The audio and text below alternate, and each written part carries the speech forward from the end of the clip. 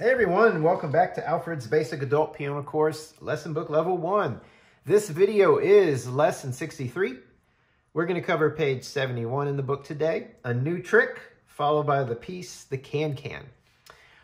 All right, so before we get to the new trick here at the top, we are going to be working in the G major position again. And uh, specifically, we're going to focus on the right hand first.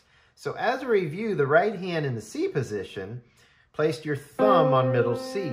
And that placed your fifth finger up here on G.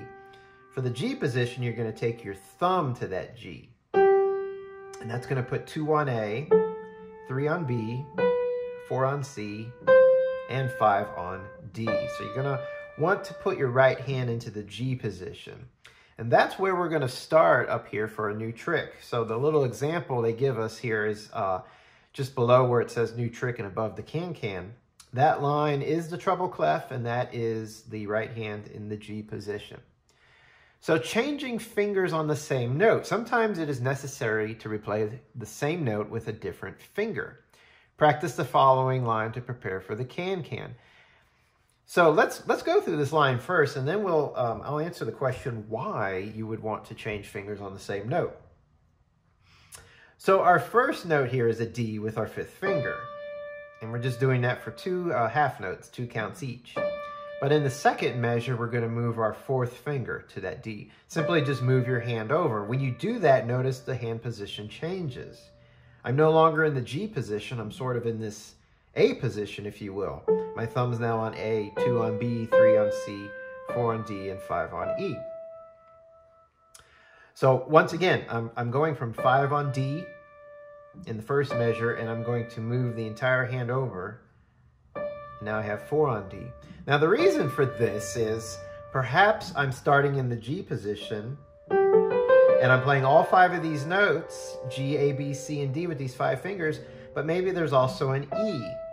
Now I could go from D to E, but that's just not gonna be very smooth and it's kind of weak doing that with the fifth finger. But if I can move a fourth finger to D, especially if it's a repeated note. Notice I'm, I'm, um, I'm going to be playing D with my fifth finger and then play it with my fourth finger. And that is so that I could get my fifth finger up to E. So if you have repeated notes, you know, this will, this will work for sure. Uh, and you'll see that just a moment in the can-can. So the uh, exercise we're doing is just the prep. You'll actually see it into play in just a moment. So I'm kind of getting ahead of myself, but that's why you will change fingers. It's actually so you can move your hand position is what it is.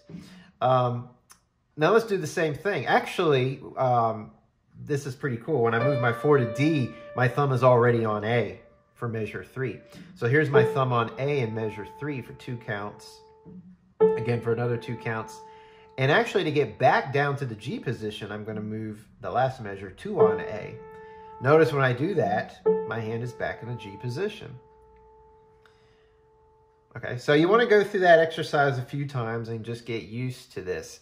Um, one really important thing is, you know, when you first learn um, out of this book, you can kind of get by for a long time with fingering, playing the note for you.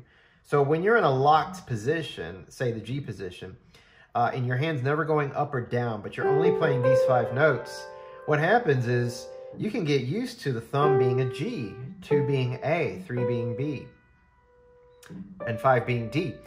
So if you're going along in the music and you see five and you just assume it's D, you know, and then up here on this example where it says four on D, but what if you just saw four? You might say, oh, well, that's going to be a C. We're branching out of that. In this case, you have to read the note first before the fingering. So it's not always going to be a assigned fingering from here on out. So in that first measure, it is a D with your fifth finger. The next measure, it's also a D, but it's going to be with the fourth finger. And we're going to really see why you would need to do this in the can-can. So go through this example several times just to get used to changing that finger. Um, and then same thing with your thumb on A, and then going to two on A. But instead of thinking of a finger change, it's really you're changing the whole position of your hand. So all your fingers are going to move accordingly. So let's look at the can-can. Let's stick with the right hand. Um, we're in the key of G major. So you see the uh, key signature at the beginning, one sharp, That means all Fs are going to be sharp. So if we come across an F, um, we're automatically going to sharp that. Uh, it does start out in the G position, of course. So your first measure is your thumb on G, that whole note there. So on the second measure, it's pretty self-explanatory. That would be, uh, the next note's an A, so that's your second finger on A. You're to skip up to a C, so that's your fourth finger, and then come down to three on B, two on A. Now in the third measure, they're reminding us that it's a D with your fifth finger. Just like the exercise up above, two half notes. But look at the last measure, D with your fourth finger. And it's this next note, this E, that's why we did it. Now I can successfully get to E. But playing along and hopping around like this, this is actually doable, but not easy. It's smooth and it's it's kind of unpredictable. A lot more control when you can move that four to the D and then your fifth finger's right there for this E. So that's really the whole point, um, at least in this on this page of why we're doing this. So after that five on E, you're gonna go back. Uh, so now you're you're you're temporarily in this other position. So that puts two on B, which is our third note in that measure, and that puts three on C, which is your next note. When you go down to the second line, they remind us A with your thumb. And that's where we're currently at. So two half notes there. But look in the second measure, A with two. So you're going to move the whole hand basically down to the G position. So there's your two on A. And your next note is four on C, which that four should be right there on C. And then we're just working our way down to B, A, and our third measure is G. Now here we have an octave in this measure. My thumb's on G, I'm going to reach up to five on this G. And that's what this second note is. You can either stretch or you can jump.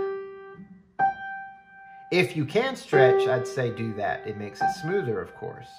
Any jumping involved obviously puts a break in the music. Now, there are no slurs, so I don't think it matters, but personally speaking, I think it will sound better if, if it's smooth. Now there's a little red asterisk there. If you look at the bottom of the page, it says descending G major scale. Remember our previous lesson, lesson 62 on page 70. Uh, if you go down to the bottom of the page there, remember we played the uh, G scale in our right hand? All the way up to this G. And then we came back down. Descending is what this is. That's what you're going to play right here in this piece. So starting on that second line, third measure, second beat, when you get up to that G, you're going down the scale. Note for note and the same fingering. So your second uh, note in that scale, which is actually the third note in this measure, that's F. Remember, it's going to be F sharp because our key signature, all Fs are sharped. And then you have your third finger on E, and then the last measure, 2 on D. And here's where it gets tricky. If you remember, after your thumb on C, you're going to have to cross to your third finger on B. This is really important. And then continue 2 on A, and you'll successfully land thumb on G on the third line. Now, once you get to the third line, musically, you're repeating the same thing you did in the top line. So you can take a quick look and compare that all these notes you're about to play again, you just played on the top line. So in the second measure of the third line, you have an A up to C, and then B, and then A. In the third measure, it's going to be a 5 on D again for two counts and another two counts. When you get to the last measure, they remind us 4 on the D. So move the whole hand over and then that puts five on E, two on B, three on C. And the bottom line is very similar to the second line. Thumb on A for two counts. Again for another two counts. In the second measure, take your second finger and move it to that A. And remember, we're moving the whole hand when we do that. So that should put four on C, three on B, two on A, Your last two measures are a little different because it's the end of the song. So that third measure, it's G up a fifth. So that's D, back down a fourth to A, and then up one note to B, and then the last measure, G on beat one, quarter rest on beat two, G on beat three, quarter rest on beat four. So yeah, look carefully there at that second to last measure. It jumps around. G, D, A, B, and then G. So that's basically it with the right hand. Um, no complicated rhythms. Your, uh, your smallest rhythm in this piece is a quarter note. So all you've got are quarter notes, a couple half notes, a couple whole notes, and that's about it. Your right, uh, your left hand is just um, three, uh, two chords. Yeah, yeah, it's just two chords. Let's review the left hand. Um, your left hand's in the G position as well. So here's middle C on the piano right here. Uh, the note below that's B. Below that is A. And below that is G. So that's where you want your fifth finger. So remember, here's your right hand. Your left hand is the same thing, one octave lower. So G position for your left hand. Make sure we got that first. So the only two chords you're playing in this piece in the left hand is a G chord, which is G, B, and D and a D7 chord, which is that five finger on F sharp and a C and D. Look at your first measure. That is a broken G chord in the first measure. So beat one, and we're in 4-4 time here, beat one is five on G. The next three beats are the B and the D. So if you can play a G chord, you've got your fingering and notes already outlined. So five on G for beat one, and then three and one on B and D for beats two, three, and four. The second measure is that D7 chord. So when you do this, don't aim for the F sharp. Aim for the whole chord. So practice reviewing your G chord as a block chord, your D7 chord is a block chord. That way, when you get to measure two, you've already outlined it. So if your five's on F sharp, your two and thumb, two and one, are on C and D, ready to go. And then measures three and four back to the G chord.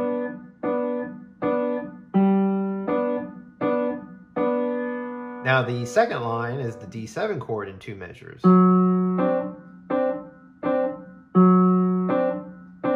And measure three is the whole G block chord only on beat one. When you start this descending scale, you should be off in your left hand. Notice the rest. So this scale is a solo. When you get down to measure one on the third line, both hands will come in on G's. And this repeats, so that, like I said, the first line is the same as the third line, and that's true of the left hand. So the first measure in the third line is a broken G chord, and then the D7 chord. And then the G chord for two measures. Bottom line, two measures of the D7 chord, just like the second line. And then the last two measures are very different for the left hand as well. Block chords. So in the third measure, G chord on beat one, quarter rest on two. D7 chord on beat three, quarter rest on four. And then the last measure, G chord on one, rest on two, chord on three, rest on four. So yeah, the G and the D7 chord is the only thing you need to know for the left hand. So if you know the outline of both chords, you're going to be in pretty good shape. Now the hard work, of course, is putting the hands together. As easy as that left hand is, we all know by now that once you tie in the right hand and it's doing something different, it's not going to be that easy. So let's look at the hands together. So like I said, the G position in both hands. Make sure you've got that lined up. And remember that our right hand's gonna shift to, I'll call it an A position briefly in the piece and back. Your left hand is not gonna do that. Oh, well, your left hand gets out of it a little bit. One can argue the F sharp with your fifth finger is getting out of the G position, but very little movement involved there. So in the beginning, what's kind of cool in the first measure is that both hands are playing G's. As the left hand continues, the right hand needs to hold that whole note for four counts. So keep it planted there, the whole measure. But when we get to measure two, that's where the challenge starts to really begin. So when I go to measure two, like I said earlier, with your left hand, try not to go to F sharp. Try to go to the whole D7 chord. Practice it enough that you get the whole chord under your fingers. And you're going to have that second finger on A in the right hand. Now, of course, when you play, don't hit the whole chord. F sharp and the A are together. So here is a measure you're to have to go really slow. You're to have to play, it, do vertical practice, line it up vertically before you play the, the correct rhythms and go smoothly through the music. In beat two, remember two, three, and four, the left hand plays the C and D. That's where you go up to the fourth finger in beat two to the C. So make sure you get that. Now your left hand's gonna stay there, but your right hand is descending one note at a time. So it's, it's moving to the B, and then it's moving to the A. And if, uh, if you have to do big movements with your hands and wrists to make that work, that's okay. When you go to the third measure, you're back to outlining that G chord in your left hand. You're going up to a D in your right hand. So actually, G in the left hand, D in the right hand is cool because they're the fifth finger in both hands. And you're actually just going to hit that D twice right there. So you're not going far now in the right hand. Remember on beat two, you move to the B and D. And then stay there for beats three and four. Hit the D again in the right hand. Now the real tricky part, because when I go to the fourth measure, I go back to the G with my fifth finger, but I move my fourth finger to that D in the right hand. So you might have to practice going from here, the end of measure three, to the beginning of measure four. And as I do that, move my whole hand to this, I'll call it the A position. So there I am on beat one in measure four. Beat two, the right hand now plays E, the left hand plays B and D. Uh, what's kind of cool about this is you're sort of moving in the same direction with both hands. See, I'm here in both hands. Look, I'm playing to the right with both hands. So different arrangements of notes and fingering, but I'm, I'm moving this direction. So that helps a little bit with coordination. And now stay here in the left hand for beat three, but two on B in the right hand. And then three on C on beat four. So that's another measure that you're gonna have to practice. So basically the measures where it's busier in the right hand, the quarter notes, that's gonna get trickier, lining it all up. So don't, don't be afraid if you're thinking this is gonna have to take a lot of repetition. That's normal. That's what it's going to have to take to really get this down. Uh, when you go to, so we we, we ended the, the first line here. When you go to the second line, your thumb should already be on the A in the right hand. Your fifth finger extends to the F sharp, but remember, try to get the whole chord, the D7 chord. So there we are on beat one. Beat two is just left hand, C and D. And then beat three, stay on this A. Same notes in the in the left hand. Now the second measure, I got to move my two finger in the right hand to A. So I'm moving to the G position. I'm just staying in the same position in the left hand. Hit the F sharp in the left hand, two on A. So you might want to practice going from, uh, let's see, the last thing in that first measure is right here. And switching to there. So you might want to practice that a few times.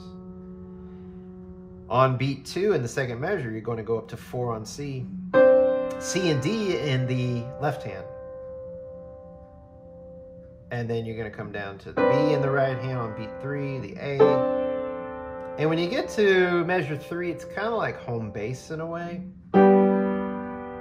Because I've got a G chord all together in the left hand, I got thumb on G in the right hand.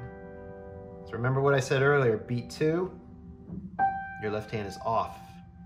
And all of this chord, uh, excuse me, all of this scale is like a solo all by itself. until I get to the third line. And remember, the third line and the first line are exactly the same. So this is all a repeat.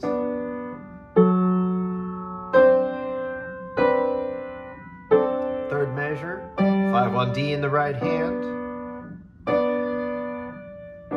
Last measure, change that 4 to the D in the right hand. And then that puts 5 on E. 2 on B. 3 on C. Last line, fifth finger F sharp, left hand, thumb on A in the right hand. And the second measure, be careful with the right hand, changes to 2 on A. Left hand still the same chord again. So beat 2, you got 4 on C, C and D in the left hand. Beat 3, down to the B in the right hand. Beat 4, down to the A. And then it's kind of like home base again on measure 3, briefly, for one beat. On beat 2, it's only the right hand. 5 on D, your left hand's resting. And this is a tricky measure because now beat 3, the D7 chord in the left hand, second finger on A in the right hand. And then beat 4, only the B in the right hand with your third finger. And then the last measure is home base again. G chord in the left hand, G with your thumb in the right hand on beat 1. Both hands rest on beat 2. Beat 3. Both hands rest on beat 4. Now, I've never even mentioned the song at the beginning, the Can Can. Um, some of you, now that we've gone through the lesson, may, may be familiar with it if you weren't at the beginning. But to me, this has always been a piece that's been played extremely fast. Uh, it's, it's like a famous dance where dancers are kicking up their legs in a whole line. Uh, and I've heard it played extremely fast sometimes, which is a lot of fun.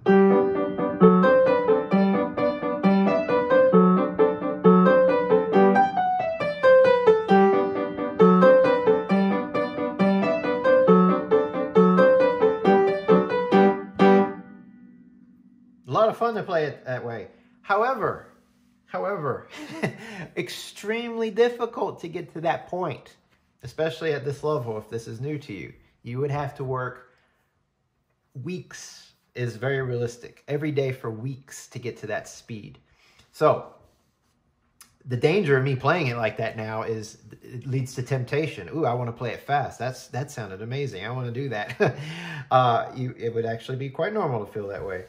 Um, however, take your time. Take your time. Play the hands separate. You're going to find the hands separate aren't that difficult.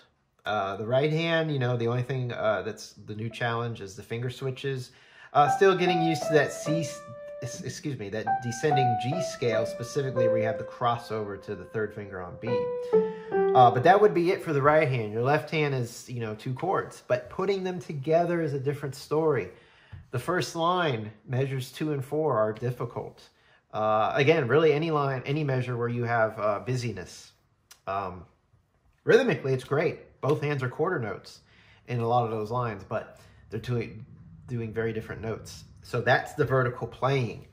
Actually, I would dig in in those measures when you're practicing and play those measures many, many, many times. Uh, perhaps one beat at a time. So example, first line, second measure. You might just play beats one and two many times until you just feel that's memorized and then go on to, to the third beat. And then eventually all four of it. You could also practice it backwards. And if you practice it backwards, you're really going to get to know the music. So in measure two on that first line, start on beat four. Now you got to go through and write in your fingering because you don't want to start that A with any finger. Granted, this is the G position, so chances are you'll play it with a two but make sure you have the right fingering when you practice backwards. So here's beat four. And of course, the benefit of starting on beat four is I'm going to know it much better than if I continually start on beat one. Beat four may, may get little practice, but if I start on beat four, it's going to be more solid. And then back up beats three and four.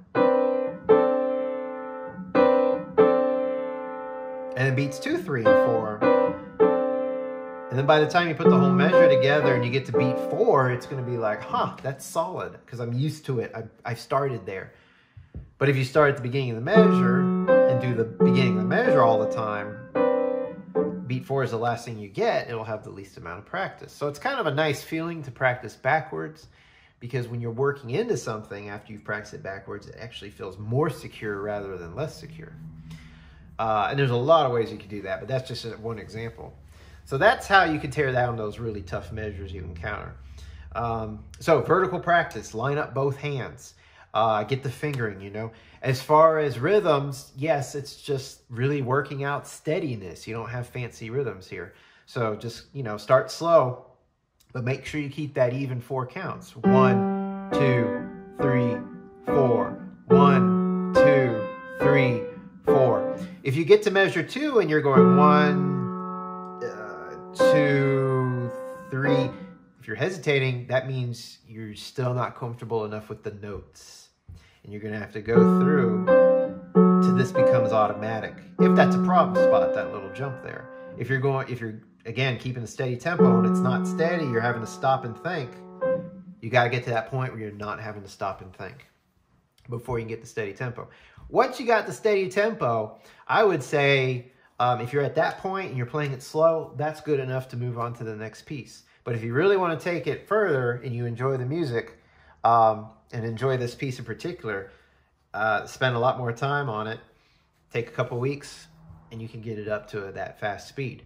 Maybe it's one that you just come back to and play it every day for a good month. And eventually, I'll guarantee it'll be a lot faster. Um, and that's about it. The only other thing I saw was it starts loud.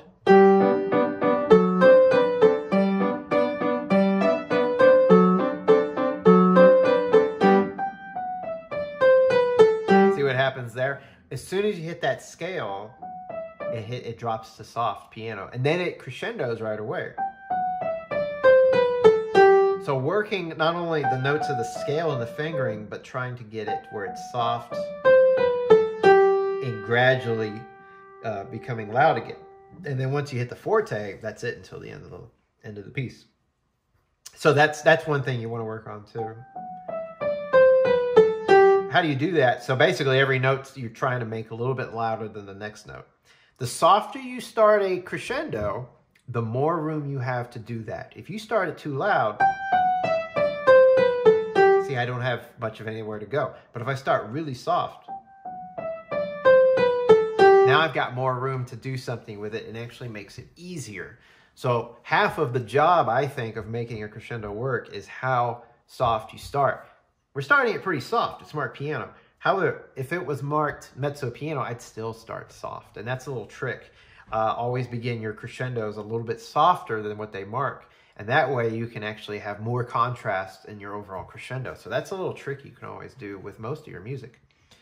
I think that covers everything. So uh, get used to the changing of the fingers on the same note. That would be a handy tool from here on out. And um, the G scale, of course. Continuing to be uh, smooth and accurate with your fingering in the G scale. The rest of it is learning how to play this particular piece and, and again, coordinating the hands. This, this is a tricky one for that.